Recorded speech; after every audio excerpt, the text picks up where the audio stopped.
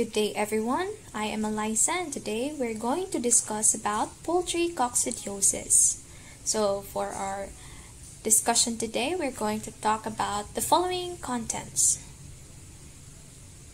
So let's start with introduction. So poultry coccidiosis is one of the most important disease in poultry animals because it generates great economic losses due to mortality, reduced body weight, plus the expenses related to preventative and therapeutic control. Poultry coccidia are generally host specific, and these different species parasitize specific parts of the intestine. However, in game birds, including quail, the coccidia may parasitize the entire intestinal tract. Coccidia are distributed worldwide in poultry, game birds reared in captivity, and wild birds. So this coccidial infection is also self-limiting. So there are nine species of Eimeria that have been described to infect Gallus gallus variety domesticus at various locations along the intestinal tract. So here are the nine species of Eimeria, E. acervulina, E. brunetti, E. hagani, E. maxima, E. mitis, E. mivati, E. necatrix, E. praecox, and E. tenella. So except E. hagani and E. mivati, the other species of Eimeria causes clinical coccidiosis. So the life cycle of coccidia. The life cycle of coccidia is short and starts with the bird ingesting sporulated oocysts. So it starts with in the ingestion of the oocyst. So the sporulated oocyst contains four sporocysts, each containing two sporozoites. So four sporocysts and two sporozoites. And the mechanical and acidic environment in the gut of the bird, of the poultry, animal results in the release of these sporocysts and sporozoites into the gut. The sporozoites invades the duodenal mucosa. They first invade the duodenal mucosa epithelial cells before undergoing phases of growth and multiplication. So they first invade the duodenal mucosa, uh, the epithelial cells, before undergoing with growth and multiplication with periodic release of merozoites into the gut. So next, the merozoites the, develop within the duodenal cells as gametes in form of both macro and micro gametocytes.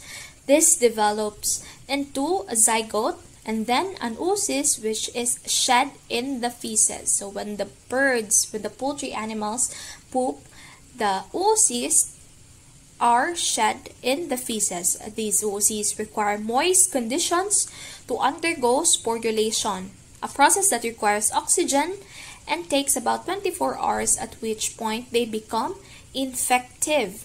So here is the life cycle of coccidia. So it starts when the oocyst is ingest ingested by another bird, by bird by a bird. Then the parasites enter the intestinal bird intestinal cells of a bird and multiply. the multiplication happens, and the parasites continue to multiply until female and male parasites make new oocysts. So the infected birds spread oocysts or protective capsule containing the parasites. So they poop, they shed the, this oocyst in their feces and then the transmission uh, grad, uh, uh, dahil doon the there will be transmission of the um, coccidia in the in poultry animals. So here is another one. Um, it is the same as to what I explained earlier. So for the transmission, in young chickens, young chickens can be contaminated, can be infected with, um, with coccidia through contaminated premises such as soil, the houses, utensils, and etc. They can, they can, uh, chickens or port, poultry animals or birds can also be um, infected with um, with coccidia through wet areas around water fountain. So they dwell on the um, around the water fountain. So oocyst remains viable in litter for months. 'Di ba? Sabi kanina, when there is um, heat, humidity, and oxygen, they can live. So oocysts are killed, can be killed by freezing, extreme dryness, and high temperature. So, di ba, they need oxygen, humidity, and uh, oxygen, humidity, and heat. So, predisposing factors, high stocking density, um, bad quality litter and lighting schedule, anti-nutritional factors or ANFs in the feed, brooder and grower management, overcrowding. So overcrowding can also cause the transmission of um, coccidia in the um, in the birds. So, number of oocysts ingested by the bird and strain of coccidia. So, ito, number of oocysts ingested by the bird. So, um, if there is if there is um, too many uh, oocysts inside the bird, then they can be infected with coccidia. So, ito yung sinasabi na number of oocysts ingested and strain of coccidia. Meron kasi mga strains na um, not as uh, high, hindi sila high virulent as those of other strains. So, environmental factors affecting the survival of oocysts, yun kanina, they need heat, the humidity, and oxygen. So, they can, um, they can also, uh, um, season, it can also, the season of the month can also influence the growth of oocysts of this coccidia. Site of development within the host, diba? They live in the intestines and nutritional status and age of the host. So pathogenesis, 3 to 6 weeks old chicken can can already be infected with oocysts. So, di ba? Nagamatter ang age. So, most virulent strains can cause diarrhea, increase in flock mortality, mortality. Less vir virulent strains um, causes poor growth and uh, decrease feed efficiency. Pathogenicity depends on a number of factors. A. The number of host cells destroyed per infecting oocysts, which depends upon the number of merozoite generations and number of merozoites per generation. Uh, second, location of the parasite in the host tissues and within the host cells.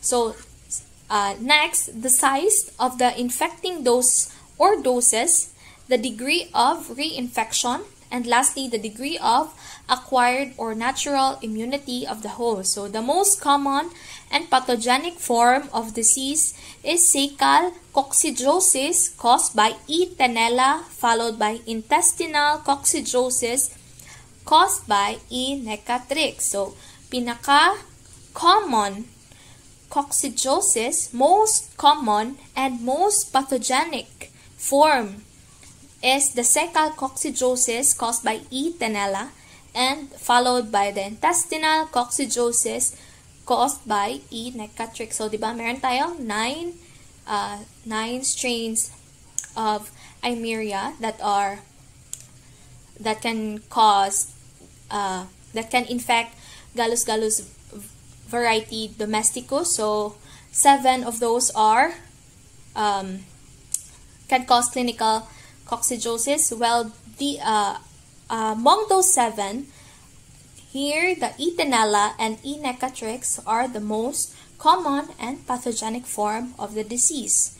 So E. necatrix and tenella are the most pathogenic in chickens because schizogony occurs in the lamina propria. And crypts of Lieberkühn of the small intestine and ceca respectively and causes in extensive hemorrhage. So most species develop in epithelial cells lining the villi. So clinical signs of coccidiosis in poultry. So there is a decreased feed and water consumption There is also decreased growth rate with high percentage of visibility, visibly sick birds. There is weight loss um, on the on the birds, weight loss in birds, severe diarrhea or bloody diarrhea, development of culls, decreased egg production, and high mortality. So there will be also mild infection, which are subclinical, that may cause depigmentation and potentially lead to secondary infection, particularly Clostridium species infection. So survivors of severe infections recover in 10 to 14 days but never recover lost performance. So there is there will be a decreased performance.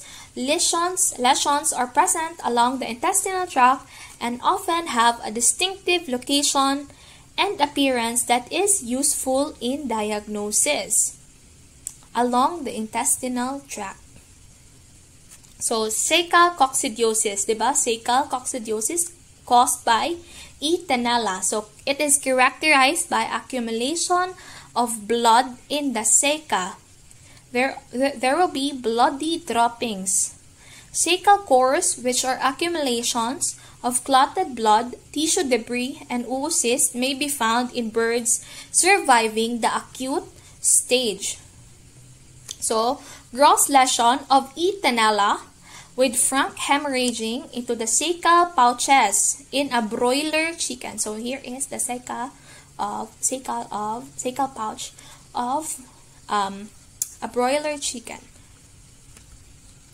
Next, we have intestinal coccidiosis, di ba? Second, second most common and pathogenic coccid uh, disease caused by E. necatrix. This species species of Eimeria is highly pathogenic in chickens and it is often seen in birds from 9 to 14 weeks of age. Mortality, severe weight lo losses, and feces with blood and mucus are frequent findings. So, ito, intestinal coccidiosis in the intestines. There, uh, there are also small white spots, usually intermingled with rounded, bright, or dull red spots of various sizes that can be seen on the serosal surface. This appearance is sometimes described as the salt and pepper the white spots are diagnostic for E. necatrix if clumps of large schizonts can be demonstrated microscopically. In severe cases, the intestinal wall is thickened, the infected area is dilated to 2 to 2.5 times the normal diameter, lumen filled with blood mucus and fluid and there will be also marked dehydration. So although the damage is in the small intestine, the sexual phase of the life cycle is completed in ceca. Oocysts of E. necatrix are found only in the ceca. Because of concurrent infections, oocysts of other species may be found in the area of major lesions, misleading the diagnostician. So next, we have the rectal coccidiosis caused by E. brunetti. So in the rectal, uh, in the rectum. E. brunetti is found in the lower small intestine. Uh, rectum, ceca, and cloaca. So, di ba? We have the small intestine, tapos ito yung ceca kanina, ito ang rectum. In the moderate infections, the mucosa is pale and disrupted but lacking in discrete foci and may be thickened. In severe infections, coagulative necrosis and sloughing of the mucosa occurs throughout most of the small intestine. So this is a gross lesion of E. brunetti in small intestine in broiler chicken. So we have another one that Eimeria maxima, which develops also in the small intestine, where it causes dilation and thickening of the wall, petechial hemorrhage, reddish, orange, or pink viscous mucus, exudate, and fluid. So the midgut often has numerous whitish pinpoint foci, and the area may appear engorged. So um, here are um, the different species, the lesions, and clinical signs. So we have the E. acervulina, uh, the lesions, lesion, it causes are numerous whitish transverse patches in the upper half of the small intestine. So clinical signs includes poor growth, increase in cause, and slightly increased mortality. E. mitis causes pathogen is pathogenic in the lower small intestine and lesions are indistinct, resemble moderate infections of E. brunetti. So it it, it uh, resembles infections of E. So E. praecox infects the upper small intestine, does not cause distinct lesions, watery intestinal context. So I content. So it is uh, less economically important than those other um, those other uh, species of Eimeria. So we have here a table showing the site development, pathogenicity, and disease type of um, different species of Eimeria. We have the E. tenella and E. necrat necratrix um, um, with the most highest pathogenicity among all the um, among the all the Eimeria that uh, causes clinical coccidiosis. So followed by Brunetti, Maxima, Mitis, Acervulina, and lastly the Praecox. So the three, the Necatrix Tenella and Brunetti, are hemorrhagic disease type, and the other four are malabsorbative. So here is a picture showing uh, the gut locations of the um, disease. So for the diagnosis, the location in the host, appearance of lesions, and the size of oocyst are used in determining the species present. So location, appearance of lesion, and the size of oocyst. Yan yung uh, ginagamit to determine the species na present doon sa bird. So coccidial infections are readily confirmed by demonstration of oocysts in feces or intestinal scrapings. So they can be confirmed by by one getting a fee, uh, getting a sample from the feces or number two intestinal scraping. So however, the number of oocysts present has little relationship to the extent of clinical disease. So here is another picture showing the different um, characteristics of the nine species of chicken coccidia. So we have the Cervulina, Brunetti, Maxima, Mitis, Mivati, Necatrix, Praecox, Tenella, and Hagani. Hagani, which does not cause clinical coccidiosis. So prevention and treatment. So there are methods of coccidiosis prevention or treatment. Isa na dito is coccid coccidicides. Another is coccidiostats. And number three is vaccines. So, coccidicides are preventive program used usually aim for eliminating Eimeria completely from the gut by using coccidicides that kill the parasites.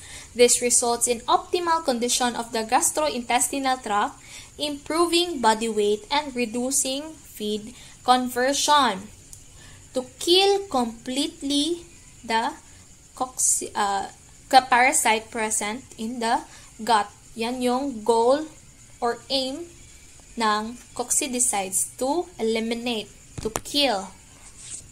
Coccidiostats in breeders and layers, a different approach is usually needed. So, di siya same ng um, approach in all the ages of chicken. So in breeders and layers, uh, due to the relatively long life cycle of these birds, development of protective immunity is desired. For this purpose, a minimal degree of exposure to Eimeria is allowed. To achieve this objective, coccidiostats are used to arrest the development of parasites at different stages of development, allowing for a good balance between intestinal damage and appropriate exposure for, for immunity development. Of course, once the coccidiostats are withdrawn from the diet, the infecting parasite may resume their life cycle, producing clinical manifestations of the disease.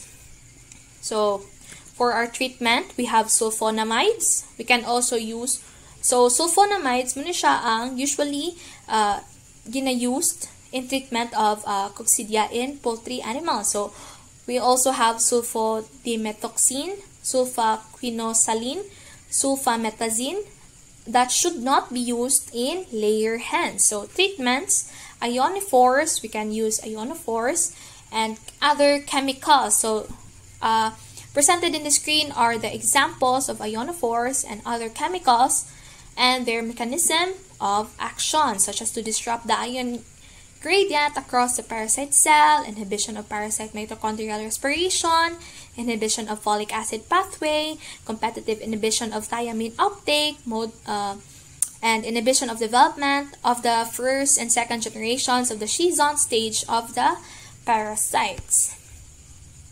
For antimicrobial resistance, Eimeria parasites do develop drug resistance due to regular use of drugs. So, uh, like us people, we also develop uh, drug resistance due to the um, due to regular use of drugs. So the resistance is greatly enhanced if the same family of antimicrobials is used for a long time within a defined area. So selective pressure will favor the few parasites within a population that are resistant and within few rearing cycles the initial parasite would increase their population size to numbers able to induce clinical disease in flocks. So we have shuttle program. So it is a way to fight against um, um, antimicrobial resistance. So a common practice to partially solve this problem is to use anti-coccidial shuttle programs that rotate through different periods of the bird's life. This method has a good chance of eliminating the parasites that demonstrated resistance to a single antimicrobial. A, vari a variation of the same principle consists on changing co coccidiostats between flocks. So most suitable drug is used for starter, while another drug is used for grower and finisher. Drug withdrawal period is the most important consideration for drugs that will be used in finisher feeds. So, examples of reasonable shuttles are Coban, which is Stenorol, Clinacox, an ideal winter program. For summer, we have also summer programs, winter or summer programs such as Avatec, Stenorol, and Clinacox, which are all examples of um, shuttle, the shuttle program. So we also have rotation program. First one, we have the shuttle program. Now we have the rotation program. Rotation means that the conscious decision is made to change the drugs used at a given time in the future. This is every four months after two crops go to a winter and summer program, etc. The alternative to a rotation program is a continuous program where the same drugs are used indefinitely, usually until a pro problem develops or until a new product is introduced on the market. Shuttle programs fit into rotation programs. So, vaccines. So, immunity can reduce the pathogenic effects of coccidiosis such as less microscopically visible lesions, decreasing of oocyst production, and increasing performance of birds. So the first commercial live coccidiosis vaccine was Coccivac, which was registered in the USA in the year 1952. So currently, two types of vaccines are used with the aim of controlling coccidiosis in a chemical-free way. We have the live non-attenuated vaccines and the live attenuated vaccines. So the main risk of using live non-attenuated vaccines such as Coccivac, Advent, Immunocox, and Inovocox is the live parasites that can develop a severe reaction in birds. So many times their use is accompanied by chemical treatments to control the inherent pathogenicity of the parasites.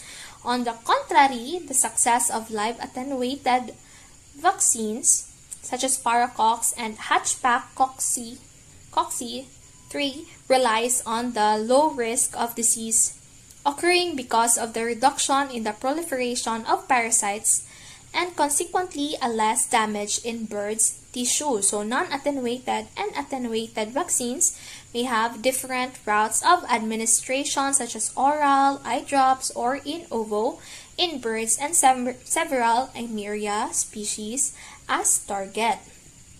So we have genetically engineered vaccines. So genetically engineered Subunit vaccines consist of purified antigenic determinants obtained from Eimeria parasites. So these vaccines are obtained from DNA recombinant technology and may consist of native antigens or recombinant proteins of various stages, such as the sporozoites, merozoites, and gametes of Eimeria. Distinct protective antigens used are micronemes, rhoptries, refractile bodies, merozoites and gametocytes of Eimeria parasites. So they use um, the um, Eimeria parasites. So Coccidia, uh, we have another um, bird in the turkey. So Coccidia of turkey. So there are generally seven species of Coccidia infecting turkeys that E. adenoeides, E. dispersa, E. gallopavonis, E. meleagrimitis, E. E. innocua, E. meleagridis, and E. subrotunda. So E. innocua, E. meleagridis, and E. subrotunda are considered non-pathogenic. So three of the seven species of coccidia infecting turkeys are non-pathogenic, while the other four, the E. adenoeides, E. dispersa, E. gallopavonis, and E. meleagrimitis, are pathogenic. So oocysts sporulate within 1 to 2 days after expulsion from the host. The pre-patent period is 4 to 6 days. So E. adenoeides and E. gallopavonis infect the lower ileum, ceca, and rectum. So it infects the lower ileum, ceca, and rectum. So these species often cause mortality. So the developmental stages are found in the epithelial cells of the villi and crypts the affected portion of the intestine may be dilated and have a thickened wall. So same dun kanina sa poultry, uh, poultry coccidiosis, uh, I mean the coccidio, coccidia of chicken. So thick creamy mater material or caseous casts in the gut or excreta may contain enormous numbers of oocysts. So E. meleagrimitis chiefly infects the upper and mid-small intestine. So kanina we have the uh, E. adenoeides and gallopavonis uh, in the ileum, ceca, and rectum, while E. meleagrimitis affects the upper and mid-small intestine. So the lamina, lamina propria and deeper tissues may be parasitized, which may result in necrotic enteritis. It results in necrotic enteritis. So E. dispersa infects the upper small intestine and causes a creamy mucoid enteritis that involves the entire intestine including the ceca. So large number of gametocytes and oocysts are associated with the lesion. So common signs in infected flocks includes reduced feed consumption, rapid weight loss, droopiness, ruffled feathers, and several diarrhea. So wet droppings with mucus are common. Clinical infections are seldom seen in poultries greater than 8 week old. Morbidity and mortality may be high. So, in ducks, a large number of specific coccidia have been reported in both wild and domestic ducks. So, both pop, the both population of wild and domestic ducks can be um, infected with um, coccidia. So, presence of Eimeria, Wenyonella, and Tyzzeria species have been confirmed. T. perniciosa is a known pathogen that balloons the entire small intestine with mucohemorrhagic or caseous material. So, T. perniciosa. Pathogenesis resembles E. necatrix. So, T. Pernic perniciosa resembles E. necatrix. In geese, the best known coccigeal infection of geese is that produced by E. truncata, in which the kidneys are enlarged and studded with poorly circumscribed yellowish white streaks and spots. Yellowish white streaks and spots in the enlarged kidney. So the tubules are dilated with masses of oocysts or urates. Mortality may be high. At least five other Eimeria species have been reported to parasitize the intestine of geese, but these are of lesser importance. So, control by management practices. So, maintain vigilance and treat as soon as first symptoms are seen. Keep different age groups separate. So, when you have a flock, you should keep different age group separate. So ensure that the litter is dry but not dusty. Avoid any causes of wet litter because oocysts can um, oocysts can um, can live on the litters. Keep litter dry around watering points. Do not allow drinkers to overflow. So ensure high standards of hygiene of personnel. Ensure good hygiene of feeding and drinking equipment. Keep raising the level of drinkers as chicken grows to reduce fouling. So, di ba kasi um, Eimeria species can be found on the soil. So, vaccinate if the risk of disease are high. So, that's it for my report. Thank you for listening.